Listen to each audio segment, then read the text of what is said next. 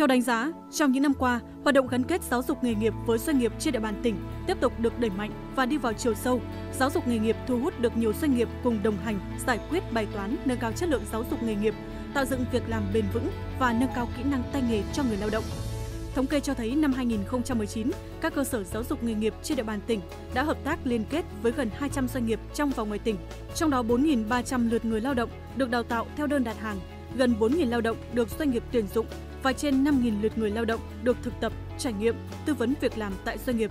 Có được kết quả trên là do các cơ sở giáo dục nghề nghiệp đã chủ động đổi mới, đa dạng hóa các sản phẩm truyền thông phù hợp, có hiệu quả trong thực tiễn nhằm quảng bá hình ảnh giáo dục nghề nghiệp,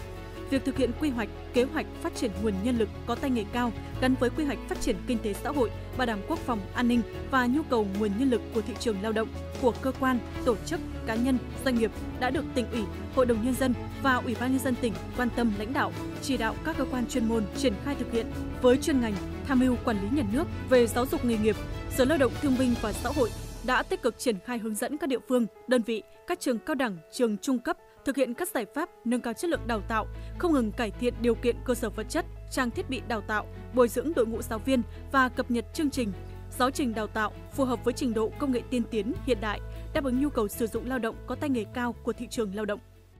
À, với trách nhiệm là cơ quan tham mưu cho Ủy ban dân thị xã Phổ Yên trong công tác đào tạo nghề giải quyết việc làm. Thứ nhất đó là tích cực tham mưu cho lãnh đạo thị xã thực hiện tốt cái công tác lãnh đạo chỉ đạo uh, triển khai thực hiện đầy đủ các chính sách đối với lại uh, công tác à, đào tạo nghề cũng như là uh, tạo việc làm cho người lao động trên địa bàn. Thứ hai là thực hiện tốt cái công tác tuyên truyền uh, kết nối như cung cầu lao động uh, trên địa bàn uh, từ doanh nghiệp tới người lao động. Uh, thứ ba là thực hiện việc đào tạo nghề gắn với lại giải quyết việc làm tại chỗ ờ, đặc biệt là ờ, kết hợp với các doanh nghiệp có nhu cầu đào tạo nghề để ờ, đào tạo đáp ứng được cái nhu cầu của doanh nghiệp.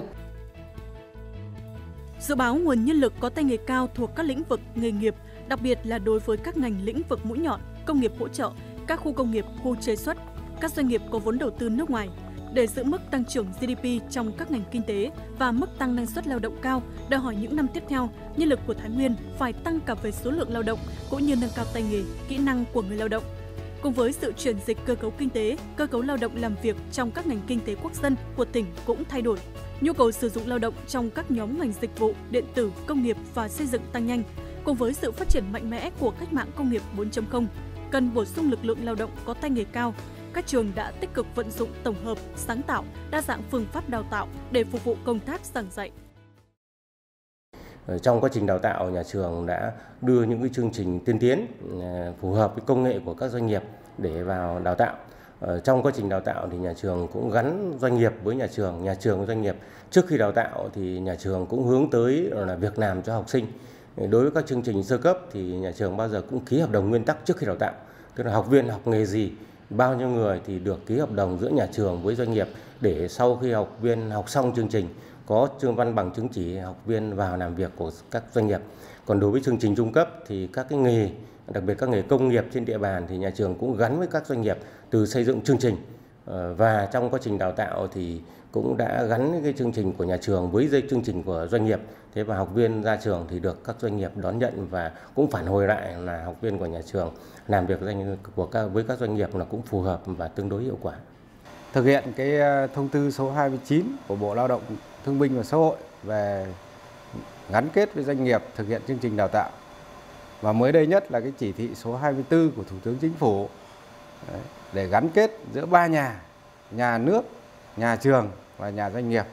Thì trường cao đẳng nghề số 1 Bộ Phòng trong những năm qua đã thực hiện tốt cái chủ trương, tức là đưa học sinh ra thực hiện học tập, thực tập tại các doanh nghiệp với mục đích là học sinh sinh viên được tiếp cận với quy trình sản xuất, tác phong công nghiệp. Để sau này các em ra trường có thể bước vào sản xuất, lao động sản xuất được ngay, doanh nghiệp không phải đào tạo lại thế thì để làm được cái việc đó một cách đồng bộ thì nhà trường cũng đã phối hợp với doanh nghiệp tổ chức là xây dựng cái chuẩn đầu ra doanh nghiệp góp ý vào cái nội dung của chuẩn đầu ra sau đó là tiến hành xây dựng chương trình thì các doanh nghiệp lớn, các doanh nghiệp à, có quan hệ mật thiết với nhà trường cũng đã tham gia vào chỉnh sửa cái chương trình đào tạo cũng như là cái giáo trình đào tạo. Trong quá trình thực hiện thì nhà trường cũng luôn luôn Ờ, lắng nghe những ý kiến phản hồi của doanh nghiệp với cái phương châm là đào tạo cái doanh nghiệp cần, chứ không phải là đào tạo những cái gì mà nhà trường có. Kết quả thì hàng năm tất cả các học sinh của các ngành nghề đào tạo của nhà trường đều được tham gia thực hiện các cái chương trình đào tạo tại doanh nghiệp. Các em có 3 tháng thực tập trải nghiệm của doanh nghiệp. Sau đó về cái nội dung à, phối kết hợp trong đào tạo thì nhà trường sẽ đào tạo những cái kiến thức và kỹ năng cơ bản tại nhà trường.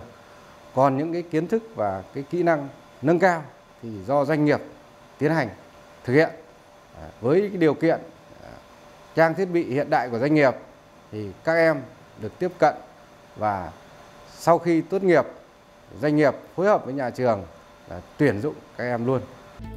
Trong nhiều năm qua, một số trường cao đẳng, cơ sở dạy nghề đã tập trung đẩy mạnh việc đào tạo gắn kết với doanh nghiệp, kết hợp với nhiều doanh nghiệp trong việc đưa học sinh, sinh viên đến trải nghiệm và thực tập tốt nghiệp học sinh sinh viên được tiếp xúc và làm việc trong môi trường thực tế tại các doanh nghiệp, qua đó giúp học sinh sinh viên hoàn thiện ý thức, tác phong làm việc công nghiệp.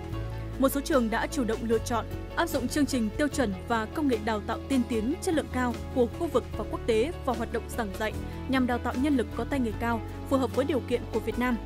Nhiều loại chương trình, giáo trình, tài liệu đào tạo quốc tế được các nhà trường chuyển thể song ngữ Anh Việt để tham khảo có trường đã thực hiện hiệu quả giáo trình đào tạo trong khuôn khổ dự án hợp tác về đào tạo nghề của Cộng hòa Liên bang Đức và một số nước châu Âu áp dụng phù hợp vào Việt Nam. Ngoài các chương trình đào tạo được xây dựng theo quy định, các nhà trường đã chủ động tìm hiểu nhu cầu của doanh nghiệp để xây dựng các mô đun nâng cao để đào tạo lại cho người lao động của các doanh nghiệp như nghề cắt gọt kim loại CNC, điện, điện tử, điện công nghiệp, hàn, công nghệ cán kéo kim loại, công nghệ ô tô. Những cái đợt mà các cháu xuống thực tập thì cũng có đàn làm việc với lại à, lãnh đạo trường và đại diện là cái chỗ trung tâm mà quan hệ doanh nghiệp. Thì để đưa ra những cái định hướng qua quá trình đào tạo nhà trường kết hợp thực tập với cái doanh nghiệp, để khi các cháu sinh viên ra trường để tiếp cận nhanh Ờ, và gần như là nắm bắt trong đầu về cái khi mà ra môi trường làm việc. Giữa công ty Sdtech với lại cả trường trung cấp nghề ở trường trung cấp dân tộc nội trú tỉnh Thái Nguyên đóng tại địa bàn Phú Yên Thái Nguyên thì đã có cái mối uh, hợp tác uh, tương đối là lâu dài có thể nói tính đến nay là từ khi công ty thành lập thì năm đầu không sử dụng nhưng đến từ 2017 cho đến nay đã gần 4 năm là hai bên đã có sự hợp tác phối hợp rất tốt với nhau thì cả hai bên đều có những cái mặt thuận lợi lợi ích riêng. Ví dụ về phía công ty tôi tôi nói về phía uh, góc ở công ty SRTech có những cái thời điểm mà cần cái lượng nhân lực gấp cũng như là chất lượng cao. Thì khi mà bên tôi liên hệ với phía quý nhà trường thì nhà trường sẽ cân đối vào cái lịch học của học sinh sinh viên của trường họ và sẽ cấp cho bên tôi một cái lượng học sinh sinh viên ờ, về cơ bản đáp ứng được về số lượng cũng như về chất lượng. Về phía nhà trường, thì nhà trường cũng có một cái thuận lợi là tạo được cái công việc ờ, cũng như là thu nhập cho các em học sinh sinh viên, cũng như là giúp cho các em học sinh sinh viên là có sự cọ sát, tìm hiểu, sơ bộ về cái công việc của cái môi trường làm việc ờ, công nghiệp sau khi các em ra trường chúng ta các em có thể là uh, tìm được ngay một cái công việc hoặc có thể lại đến ngay ở uh, ờ, chúng tôi đều có thể tiếp nhận. Về góc độ nhân sự thì tôi mong muốn rằng là uh, trường trung cấp nghề uh, Thái Nguyên trung cấp nghề tỉnh Thái Nguyên sẽ tiếp tục phối hợp với công ty tôi. Uh, tôi phối hợp tốt hơn nữa nhưng tôi không mong muốn dừng lại ở riêng của trường này mà tôi muốn là sẽ mở rộng các khối trường các ờ, khối trường khác trên tất cả các địa bàn ít nhất là địa bàn tỉnh Thái Nguyên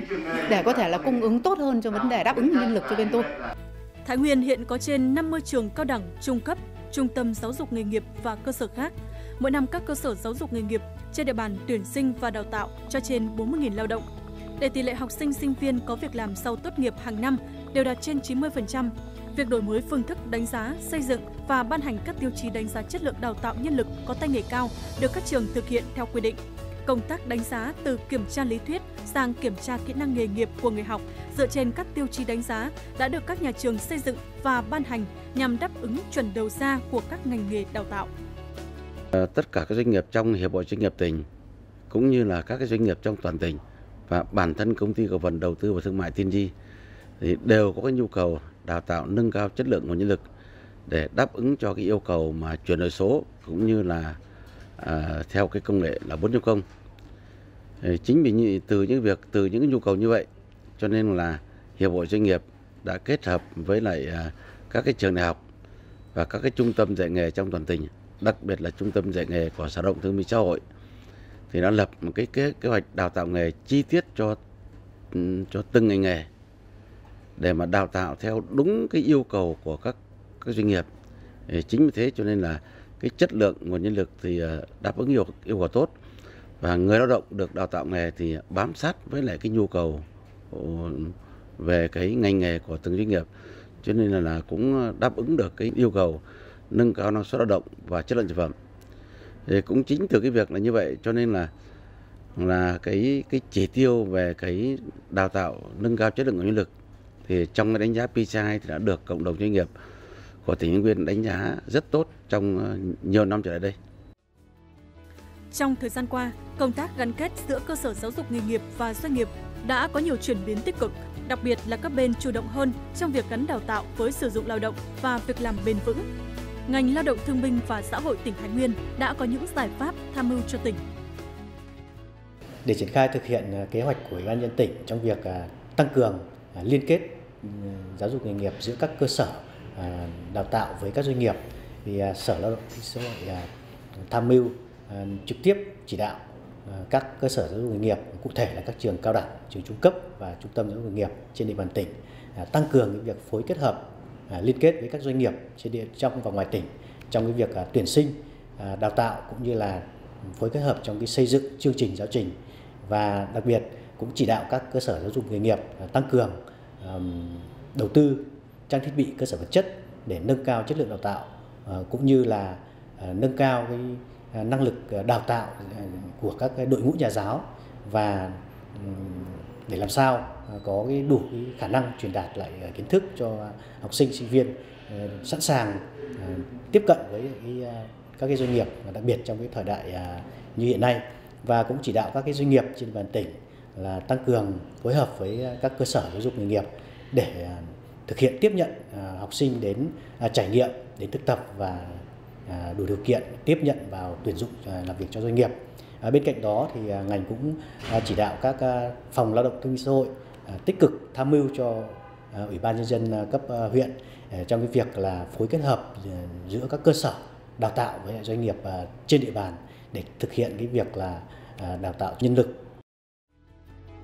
để công tác đào tạo nghề gắn kết giữa cơ sở giáo dục nghề nghiệp với doanh nghiệp được thực hiện hiệu quả hơn trong thời gian tới, tỉnh Thái Nguyên với kế hoạch cụ thể theo từng giai đoạn về hợp tác đào tạo và tuyển dụng với doanh nghiệp, các cơ sở dạy nghề sẽ điều chỉnh hoàn thiện chương trình đào tạo và chuẩn bị các điều kiện bảo đảm chất lượng phù hợp đáp ứng với nhu cầu của doanh nghiệp, người sử dụng lao động.